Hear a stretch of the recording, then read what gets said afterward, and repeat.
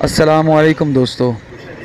मैं हूँ उस्मान और आप देख रहे हैं मेरा YouTube channel Sheikh ji official दोस्तों, आज कैमरे के सामने आकर बात करने की बिल्कुल भी हिम्मत नहीं हुई। या यूँ कहने के मूड ही नहीं हुआ। लेकिन ये वीडियो बनाना बहुत ज़रूरी थी। दोस्तों, ये आप अपनी आँखों के सामने जो मंज़र देख रहे हैं, ये मेरे शाहपुर सदर मेन बाज़ार का मंज़र है। दोस्तों, ये लोग क्यों इकट्ठे हैं? लोगों ने अपनी दुकानें क्यों बंद कर दी? और इनके चेहरों पे खौफ हरास क्यों है? दोस्तों, आज मेरे शहर में एक बहुत बड़ा वाक़ पेश आया है। आप अपनी आँखों के सामने देख रहे होंगे कि आज शटर डाउन हड़ताल हुई हुई है। आज ना आज ना तो गवर्नमेंट की तरफ़ से सख्ती है कि दुकानें बंद की जाएँ और ना ही कोई ऐसा मामला है, बल्कि आज पूरा शहर सोग में डूबा हुआ है और उन अपनी मर्ज़ी से ये शटर डाउन हड़ताल की है, एहतजाज किया है।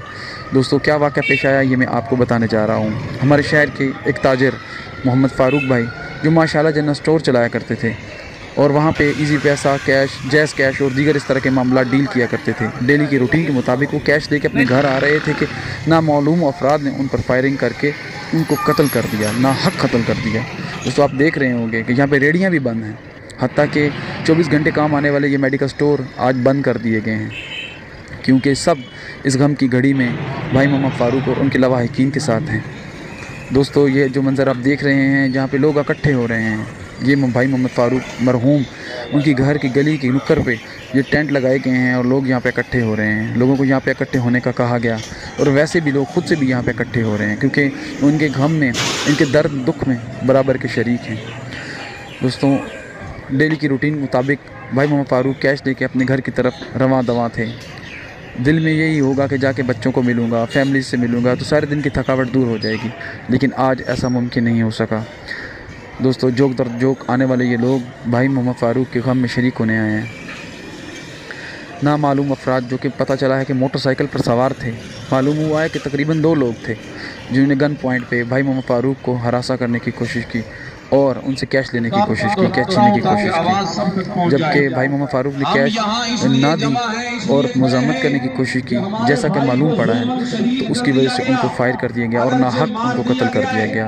मैज एवज चंद रुपयों की खातिर उनकी जान ले ली गई, एक मासूम जान ले ली गई दोस्तों। जैसे कि आप जानते हैं, जैसे कि आपने सुना होगा कि एक कत्ल जो कि पूरी इंसानियत का कत्ल होता है। तो दोस्तों, इसीलिए आज ये सारी इंसानियत उस कत्ल की वजह से जमा हुई है, जो ना हक किया गया। एक मजलूम को खा मखा चंद रुपयों के एवज ना हक मार दिया गया, कत्ल कर दिया गया। उनके लवाकिन गम में डूबे हुए हैं। ये जो सामने आप सब देख रहे हैं, ये हमारे शहर के मस्जिद महाजरीन के ख़तीब हैं। मस्जिद महाजरीन के इमाम हैं। आइए इनके अल्फाज सुनते हैं कि इनके अल्फाज दुख दर्द से भरे हुए अल्फाज क्या हैं। हमें यकीन है, यही हमारे भाई की जन्नत में दाखिले का सबब बनेगा। दूसरी चीज़ होती है इबादत। इबादत में नमाज़ रोज़े का पक्का पाबंद। मुझे कहता था, कारी साहब, जब तक नहीं लगे या आपकी बातों से मुतासर हो के नहीं आए तो नहीं आए। अब आए हैं तो इतना दिल लगा है, कोई नमाज़ थोड़ी बहुत इधर उधर हो जाए। कहता, सुकून ही नहीं आता जितना तक हम नमाज़ न पढ़ ले। दुकान पे बैठे भी कहता, बेचैनी हो जाती है अगर नमाज़ लेट हो जाए। इतना पाबंद हो गया, दाढ़ी माशाल्लाह रख ली।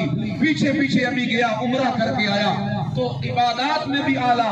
तीसरी चीज़ होती है मामलात मामलात में भी इतना सच्चा, सुच्चा, सुथरा और इतना बिल्कुल साफ़ शफाफ कि किसी शहर में किसी बंदे को उस पर कोई इतराज नहीं। कोई किसी के साथ लड़ाई, झगड़ा नहीं। कोई किसी के साथ दुश्मनी नहीं। कोई किसी के साथ इनाद नहीं। लिहाजा ये बात नोट करें कि इनका कत्ल किसी दुश्मनी की वजह से नहीं हुआ। मामलात में ये सच्चा और सुच्चा था। इनका कत्ल जुल्म किया गया है। इन्हें जुल्म जुल्म, इनके माल को छीनने के लिए इन्हें मारा गया है। हम सारे मिलकर इनके मामला की गवाही देते हैं अल्लाह के सामने कि हमारा भाई मामला में सच्चा था सच्चा था, ठीक था। चौथी चीज़ होती है अखलाकियात अखलाकियात के तो कह नहीं गया जिस वक्त मिलो, हंसमुख, हंसता रहता था कभी किसी गुस्से में नहीं देखा।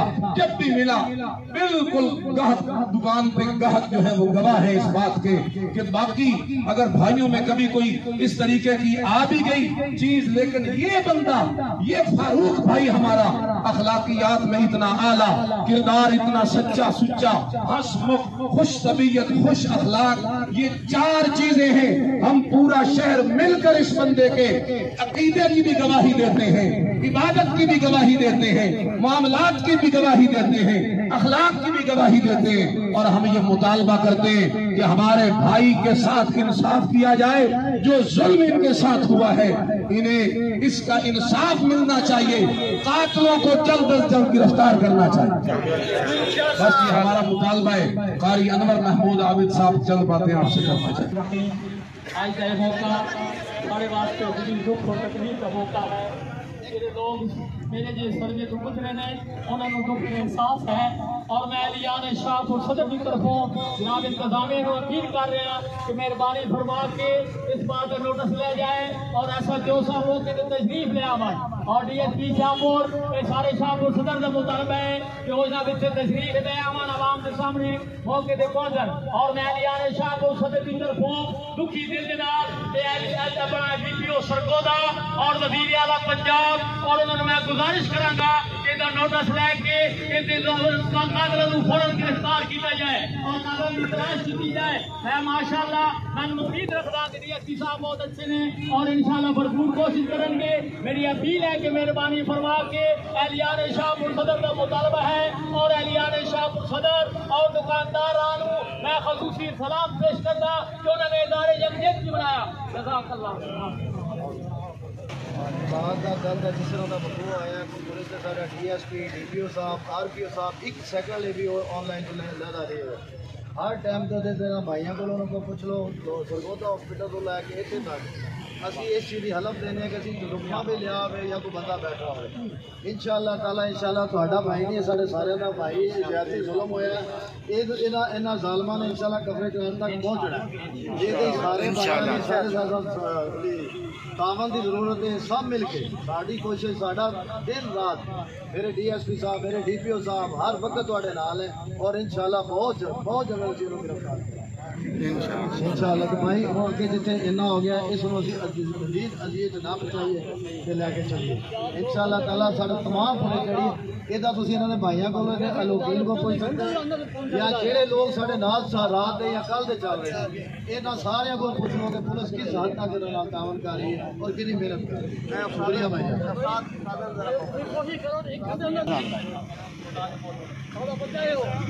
आप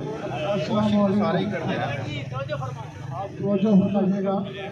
ये जनाजा, मोहम्मद फारूक हमारे सामने पड़ा है। दरअसल तो एक आ रहा है, लेकिन ये अहल नाम शाहपुर अगर गौर फरमाएँ, ये हमारे तहफ़ुज़ का भी जनाजा है। आज तक तो मुझे एहसास रहा था कि शाहपुर एक महफूज इलाका है और सत्तर सालों से हम यहाँ आबाद थे। हम किसी डिपार्टमेंट के खिलाफ नहीं हमारे अपने भाई हैं। हमने इनके साथ तावन करना है। हम दो वादे करते हैं। पुलिस डिपार्टमेंट और अफसरान जब भी चाहेंगे हमारा तावन उनके साथ होगा। का मकसद ये नहीं है कि हम लोगों को है अपना रिकॉर्ड करा भाई मोहम्मद फारूक का जनाजा मेन रोड पर रखकर एहतजाज किया गया जो कि एक पुरअमन एहतजाज था। और इस एहतजाज में पुलिस ऑफिसर शहर के एसी और दीगर अहम शख्सियात शामिल थीं। मैं दुआ करता हूँ कि भाई फ़ारूक के कातिल जल्द कैफ़े करदार तक पहुँचे, उनकी शनाख्त हो जाए। दोस्तों, ये कत्ल सिर्फ़ भाई फ़ारूक का नहीं है, ये पूरी इंसानियत का कत्ल है, का कत्ल है। दोस्तों, अगर आज इनके साथ ये ऐसा हुआ है तो कल हमारे साथ भी हो सकता है। इसलिए इनकी कातलीन को पकड़ने के लिए हम इनका साथ दें। अगर कोई भी इस तरह का मशकूक शख्स आपको नज़र आए, जो आपको लगता हो कि इनकी कत्ल में मुलविस हो सकता है तो प्लीज़ पुलिस वालों का साथ दें उनके हाथ मज़बूत करें। जजाकल्ला वीडियो को पूरा देखने के लिए।